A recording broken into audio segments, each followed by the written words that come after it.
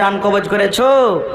বলবেন, আল্লাহ, অমুক গ্রামের অমুক টোলার, অমুক মহিলা কিংবা অমুক লোকের ছেলের ছোট্ট মাসুম বাচ্চার যান কবজ করেছি।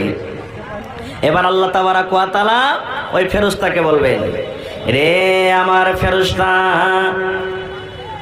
যখন তুমি আমার ওই বান্দার ছেলের জানখানাকে কবজ করো, তার কলেজা খানাকে যখন তোমরা কবজ করো রোটাকে তার কবজ করো, এ আমার ফেরস্তার দল তোমরা শুনে নাও, যখন তুমি আমার ওই বান্দার ছেলে মাটকোপা গ্রামের কিংবা খট্টি হাসেলি পঞ্চায়েতের কিংবা বানসুর গ্রামের কিংবা কোঠে বাড়ির কিংবা খড়বাড়ির গ্রামের আবদুল্লার ছেলের জানটাকে যখন তুমি কবজ করো, আব্দুর রহমানের ছেলের জানখানাকে যখন তুমি কবজ করো, ওই কবজের টাইমে মতের সমাতে আমার ওই বান্দা বান্দিরা একটি অবস্থায় ছিল। কে করছিল, কে বলছিল একটু বলে দাও। এরে মুসলমান, আল্লাহ রাব্বুল আলামিন সব কিছু জানেন, তবু আল্লাহ রাব্বুল আলামিন ফেরেশতাদের মুখ থেকে শুনবেন। এবার ফেরেশতারা বলবেন মাবুদ যখন তোমার ওই বান্দার ছেলের জানখানাকে আমরা কবজ করলাম, ওই টাইমে তারা কান্নাকাটা করেনি, হাউমাউ করে চিৎকার করেনি। আল্লাহ যে ওই টাইমে ওই সময়তে তারা কোন রকম মুখ দিয়ে কু কথা বলেনি। আল্লাহ বলবেন, কি বলেছিল রে ফেরস্তা একটু বলে দাও, আমি জানতে চাই ফেরস্তারা বলবেন, রব্বুল আলামিন, যখন তোমার ওই বান্দার জান খানাকে আমরা কবজ করে নিলাম, বাচ্চার রোটাকে যখন কবজ করে নিলাম, ওর মা ওখানে বসেছিল, ওর বাপ ওখানে বসেছিল, ওই দাদা বসেছিল, নানা বসেছিল, নানি বসেছিল আল্লাহ জি আর মুখ দিয়ে ওরা এই কালেমা এই দোয়াটা শুধু পড়েছিল, ইন্না ওয়া ইন্না ইলাইহি রাজিউন, আল্লাহুম্মা আজুরনি ফি মুসিবাতি ওয়া আখলিফ লি খায়রাম মিনহা। তারিফ করেছে আর তোমার শুক্রিয়া আদায় করেছে আর দোয়াটা পড়েছে। তাহলে বোঝা গেল, মা মরে গেল, বাবা মরে গেল, নানা মরে গেল, দাদা মরে গেল, স্ত্রী মারা গেল, স্বামী মারা গেল, কলেজের টুকরা ছেলে মেয়ে মারা গেল।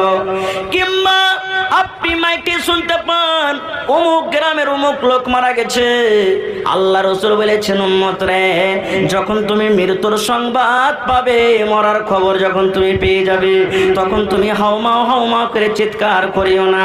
তোমাকে এই দোয়াটা শুধু পড়তে হবে, ইন্না লিল্লাহি ওয়া ইন্না ইলাইহি রাজিউন। এই দোয়াটা পড়িতে হবে।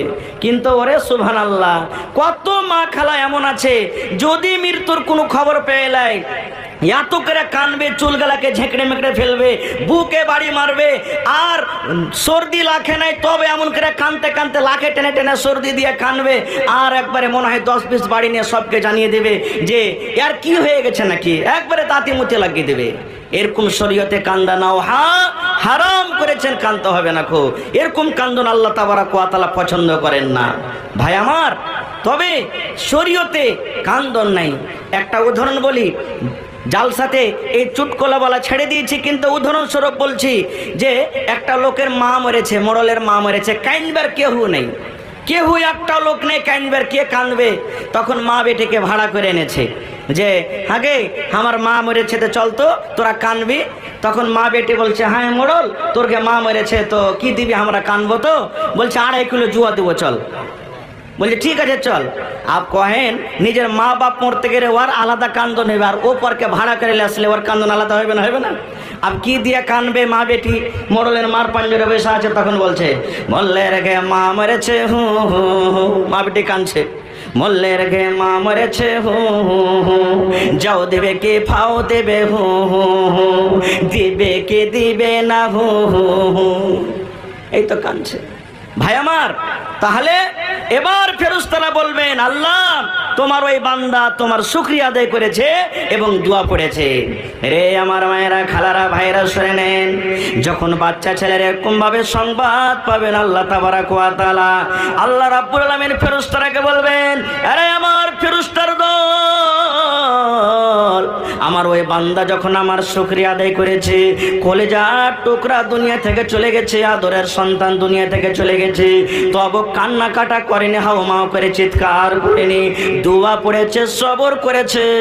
আমি আল্লাহ তোমাদেরকে ফেরস্ত আদেশ করেছি, যাও যাও যাও, এই ছেলের মা এবং বাবার জন্য আমি আল্লাহ আদেশ করেছি, জান্নাতের ভিতরে এখন ঘর তৈরি করে দাও। সুহান আল্লাহ তাহলে যেই সমস্ত মা খালা ভাইয়ের ঘে ছোট সন্তান মারা গেছে, সবর যদি করে থাকে তাহলে জান্নাতে তার জন্য এখানটা ঘর রেডি হয়ে আছে। কিন্তু এখন তো দেখবেন কত মা খালা আছে। শরীয়ত জানছে যে কানতে হয় না, ও কানবে না।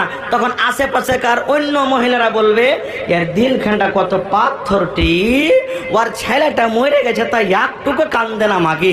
মনে হয় কত যে ওর লেগে ভালো হয়েছে, তা আল্লাহ জানছে। বলে না? কত লোক বলে? তাহলে সবর করতে গেলে আল্লাহ তাবারা কোয়াতালা জান্নাত এখন ঘর বানিয়ে দিবেন। তাহলে একটা হাদিস শিখে নিলেন আর একটা হাদিস শেখেন। আল্লাহর নবী বলেছেন, এরে আমার চব্বিশ ঘণ্টার ভিতরে আল্লাহ রব্বুল আলমিন কোরআন মাজিদ একটা সুরা দান করেছেন।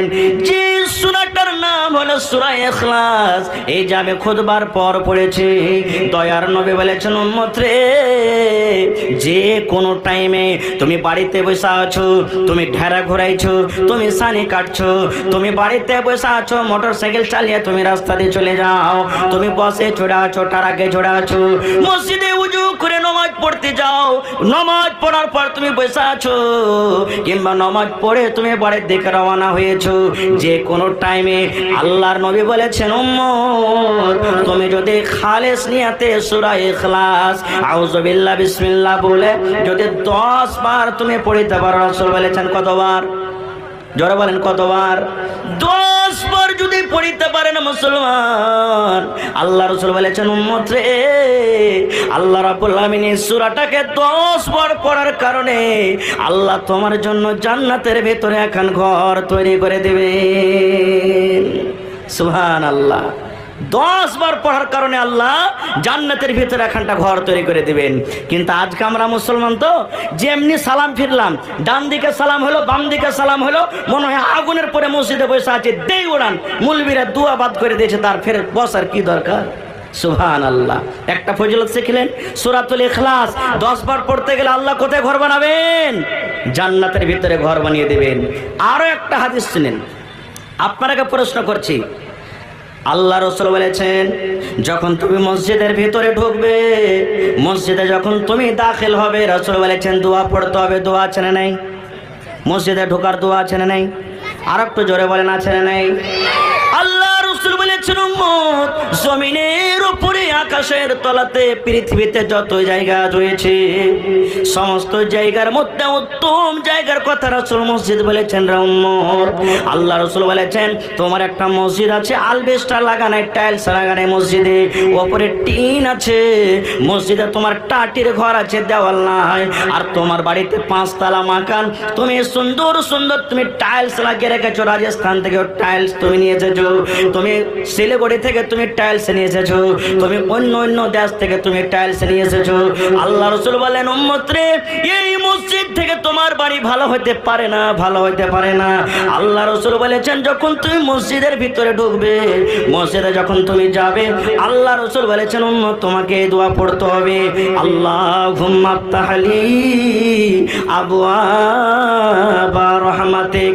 আল্লাহ, তুমি আমার জন্য আল্লাহ রহমতের দোয়ার আল্লাহ তুমি খুলে দাও। আল্লাহ ঘুমাত্তাহালি আবু আবা রহমাতিক। যেমন মসজিদে আপনি ঢুকবেন, আল্লাহ রসুল বলেছেন, মসজিদে যখন ঢুকবেন আপনি, তখন ডান পা খান মসজিদের ভিতরে আগে রাখতে হবে। বাম পা আপনাকে আগে রাখতে হবে না। মসজিদের ভিতরে যখন ঢুকবেন, তখন ডান পা দিতে হবে। যেমন মসজিদে আপনি ডান পা রেখে দিলেন, নবী বলেছেন, উম্মত ডান পা রাখার সময়তে তোমাকে এই দোয়াটা পড়িতে হবে। আল্লাহ হালি আবু আবা রহমাতিক। আর যখন মসজিদ থেকে তুমি বের হয়ে যাবে, তখন তুমি বাম পা খানটা আগে বের করে দাও। বাম পা খানটা মসজিদ থেকে আগে বের করো। তারপর রসুল বলেছেন, এই দোয়াটা তুমি পড়ো। আল্লাহ হুমাইনি আসআলুকা মিন ফাজলিক। এটা হলো মসজিদ থেকে বের হওয়ার দোয়া। জানছেন? আশা করছি সবাই? এবার আপনাকে আর একটা হাদিস বলি। এটা হলো হাদিসের এক পয়েন্ট যে এই পৃথিবীর মধ্যে সব থেকে উত্তম জায়গা হলো কি? সব থেকে ভালো জায়গা হলো কি? মসজিদ। আর এর অপোজিট উল্টা নিলেন আল্লাহর নবী বলেছেন, এরে আমার জমিনের ওপরে, এই জমিনের ওপরে সব থেকে নোংরা খারাপ জায়গা হইল বাজার। সব থেকে খারাপ জায়গা হলো কি? জোরে বলেন সব থেকে নোংরা জায়গা হলো কি? বাজার। কিন্তু এই বাজারও একটা খুব মজার কথা লুকিয়ে আছে। কি মজার কথা জানেন?